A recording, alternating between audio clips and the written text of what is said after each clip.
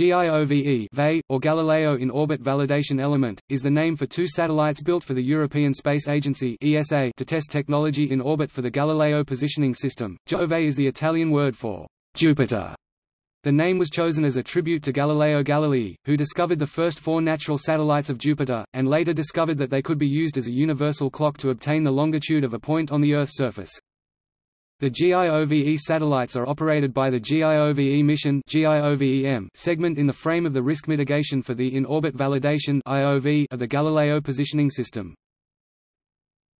Topic purpose These validation satellites were previously known as the Galileo System Testbed GSTB version 2 GSTB V2.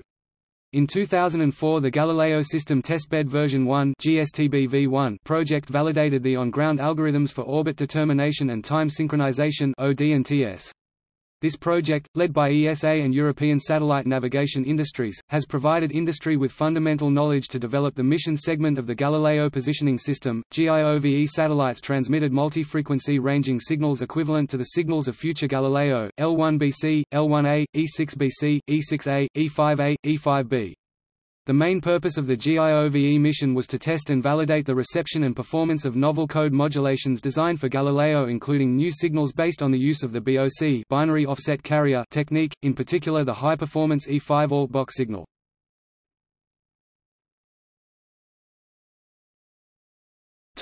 Satellites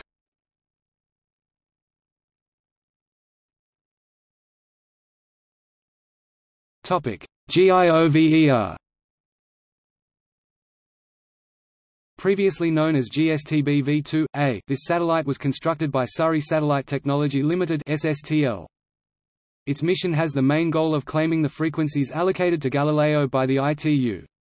It has two independently developed Galileo signal generation chains and also tests the design of two onboard rubidium atomic clocks and the orbital characteristics of the intermediate circular orbit for future satellites.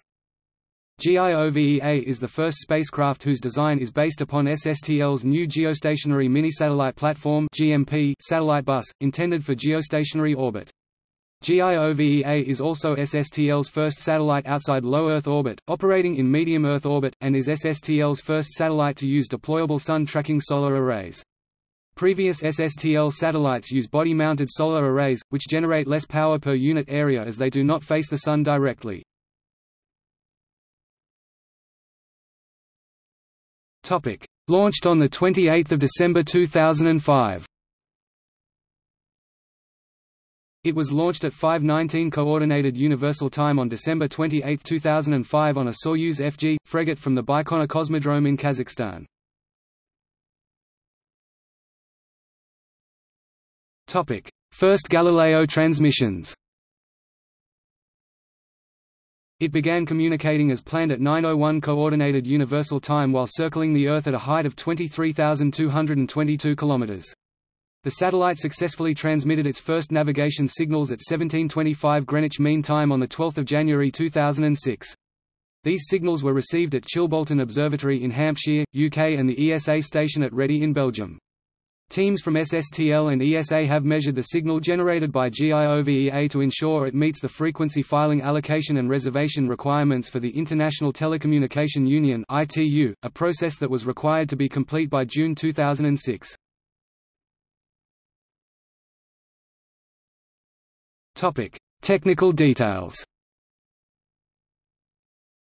The GIOVE signal in space is fully representative of the Galileo signal from the point of view of frequencies and modulations, chip rates, and data rates. However, GIOVEA can only transmit at two frequency bands at a time i.e., L1 plus E5 or L1 plus E6. GIOVEA codes are different from Galileo codes. The GIOVEA navigation message is not representative from the structure and contents viewpoint demonstration only purpose. The generation of pseudorange measurements and detailed analysis of the tracking noise and multipath performance of GIOVE arranging signals have been performed with the use of the GETR Galileo Experimental Test Receiver designed by Septentrio. There has been some public controversy about the open source nature of some of the pseudo-random noise (PRN) codes. In the early part of 2006, researchers at Cornell monitored the GIOVE A signal and extracted the PRN codes. The methods used and the codes which were found were published in the June 2006 issue of GPS World. ESA has now made the codes public. Topic: Retirement. GIOVEA was retired but not decommissioned in June 2012 after being raised in altitude to make way for an operational satellite. It remains under command by SSTL. Topic: GIOVEB GIOVEB previously called GSTB V2B, has a similar mission, but has greatly improved signal generation hardware.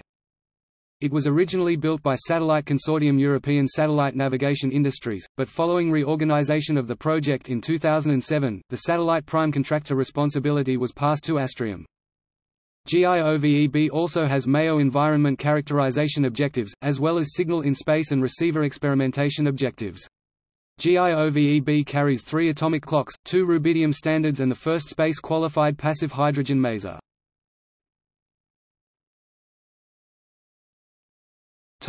Launched on 27 April 2008 The launch was delayed due to various technical problems, and took place on 27 April 2008 at 4.16 Baikonur time 22.16 Coordinated Universal Time Saturday aboard a Soyuz FG, Fregat rocket provided by Starsem. The Fregat stage was ignited three times to place the satellite into orbit. GIOVE-B reached its projected orbit after 2 o'clock Coordinated Universal Time and successfully deployed its solar panels. Topic First Galileo navigation transmissions GIOVEB started transmitting navigation signals on May 7, 2008. The reception of the signals by GETR receivers and other means has been confirmed at a few ESA facilities.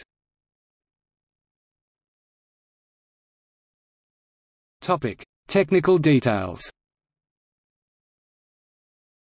According to ESA, this is a truly historic step for satellite navigation since GIOVEB is now, for the first time, transmitting the GPS Galileo common signal using a specific optimized waveform, MBOC multiplexed binary offset carrier, in accordance with the agreement drawn up in July 2007 by the EU and the US for their respective systems, Galileo and the future GPS-3.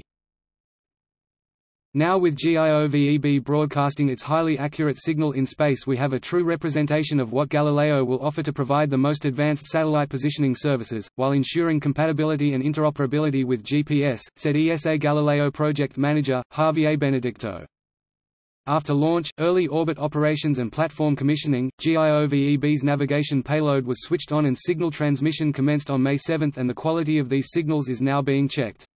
Several facilities are involved in this process, including the GIOVEB Control Center at Telespazio's facilities in Fucino, Italy, the Galileo Processing Center at ESA's European Space Research and Technology Center ESTEC, in the Netherlands, the ESA Ground Station at Redu, Belgium, and the Rutherford Appleton Laboratory Chilbolton Observatory in the United Kingdom.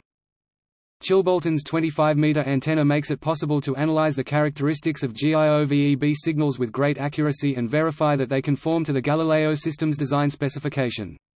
Each time the satellite is visible from Redu and Chilbolton, the large antennas are activated and track the satellite.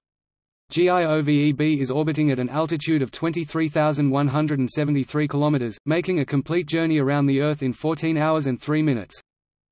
The quality of the signals transmitted by GIOVEB will have an important influence on the accuracy of the positioning information that will be provided by the user receivers on the ground. On board, GIOVEB carries a passive hydrogen maser atomic clock, which is expected to deliver unprecedented stability performance. The signal quality can be affected by the environment of the satellite in its orbit and by the propagation path of the signals traveling from space to ground. Additionally, the satellite signals must not create interference with services operating in adjacent frequency bands, and this is also being checked.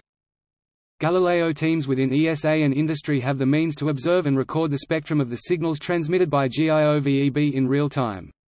Several measurements are performed relating to transmitted signal power, center frequency and bandwidth, as well as the format of the navigation signals generated on board. This allows the analysis of the satellite transmissions in the three frequency bands reserved for it. The GIOVEB mission also represents an opportunity for validating in-orbit critical satellite technologies, characterizing the medium Earth orbit radiation environment, and to test a key element of the future Galileo system, the user receivers.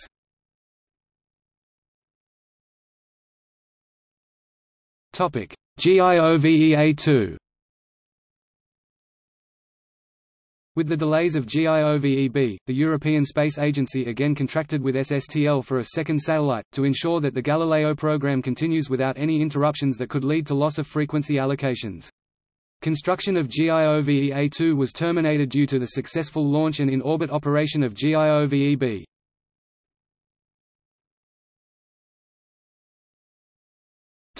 Mission segment The GIOVE mission segment, or GIOVEM, is the name of a project dedicated to the exploitation and experimentation of the GIOVE satellites. The GIOVE mission was intended to ensure risk mitigation of the in-orbit validation phase of the Galileo positioning system.